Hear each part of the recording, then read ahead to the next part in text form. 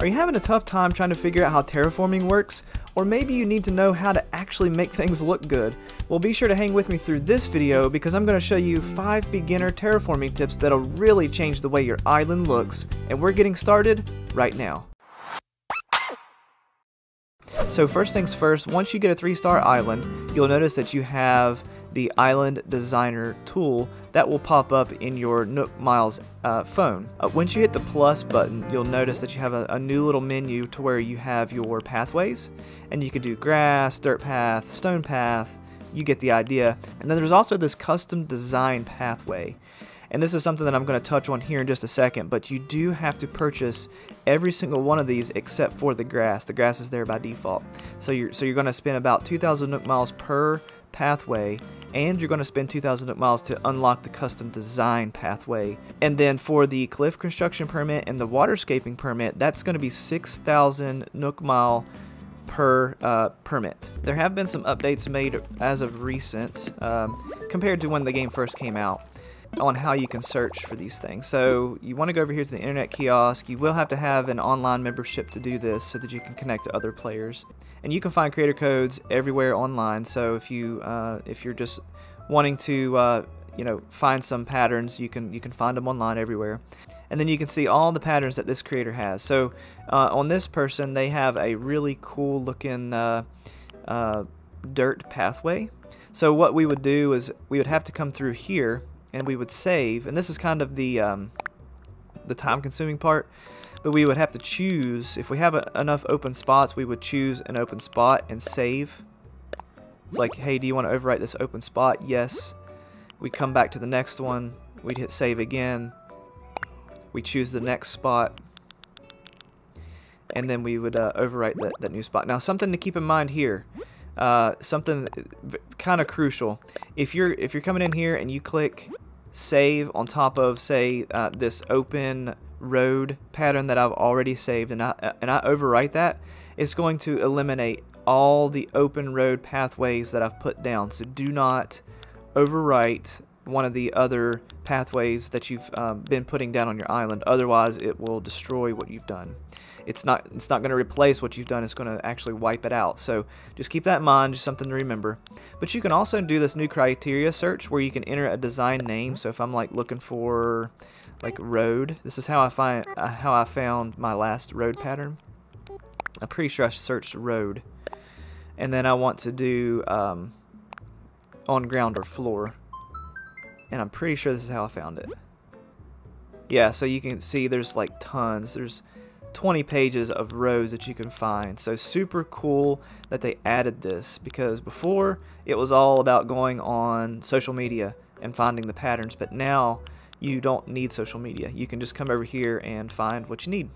Okay, so now let's talk a little bit about waterfalls and how to make them look better because it's really easy to make a waterfall. So you just pull up your waterscaping permit and you literally just find a chunk of the cliff, take the chunk of the cliff out, and there you have it. You have a waterfall. But what doesn't look good about this? Well, um, it doesn't have a source of water. And so one thing I like to do with my waterfalls is I'll actually build a just kind of a random piece of uh, of a pond or a lake looking type of water source and, uh, and, and so and I'll connect it to the waterfall to kind of make it look a little bit more natural. So let me uh, let me build this out a little bit. And, so one of the things that I can I can kind of say while I'm building this out is don't have unnatural looking corners. So for example, you see this corner right here, it's, it's kind of a 90 degree. So what you can do is you can stand on e either side of this corner and you're going to hit the A button, you're going to make a corner again and then just stand right still and you can hit it again it makes it like turn, makes it like a, a kind of a curved corner.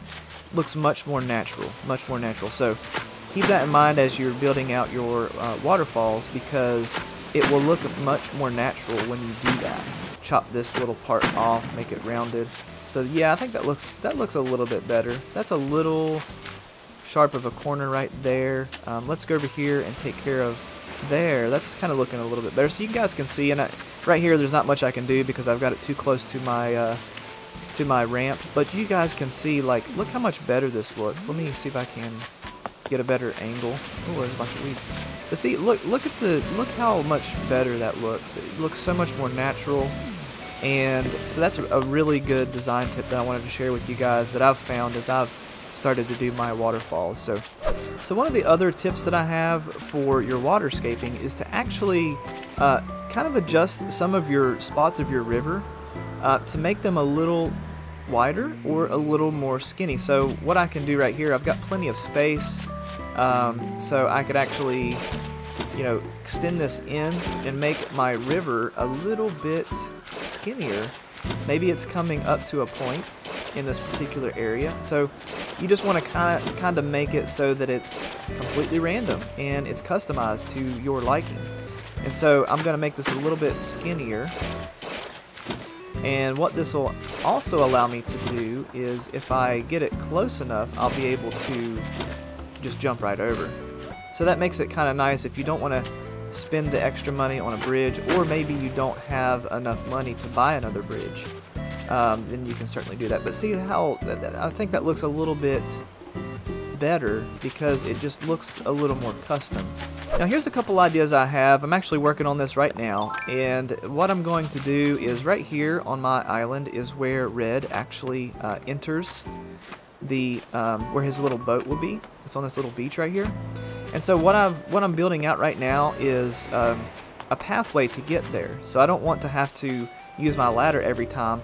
I actually want to put a ramp right here where I'm standing and uh, I'm going to build a little secret entrance to get there. So if I get my my cliff permit out, what I've done here is I've dug back um, several spots, uh, probably, I don't know, maybe seven or eight spots on the second layer, and then the first layer you have to leave room for the ramp. So you would just build that out. And I've rounded off each corner so you can see how nice and round they are. And then uh, what I'm going to do here is uh, just build myself a little uh, secret path, I'll call it, all the way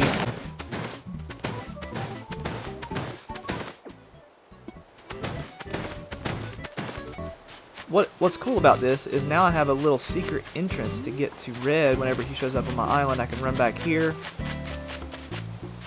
and I'll and I'll pretty this up a little bit to where I can put some flowers around the cliffs right here. Okay, so let's see how it turned out. Uh, it's been a day, and we've let the natural ramp be built, and so here it is, guys. So here's where Redd will actually show up, and he'll have his little boat right here. And now we have a super easy way to get access to his boat to go buy some fake paintings.